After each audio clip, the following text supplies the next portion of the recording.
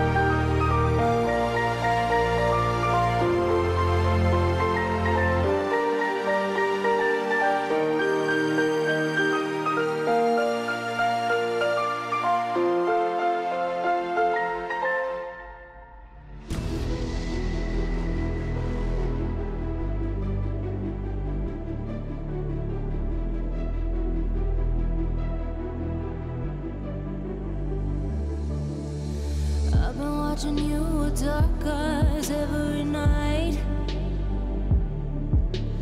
Counting up your sins, I keep a list and checking it twice. I know where you've been, I smell the sin, and you're looking nice.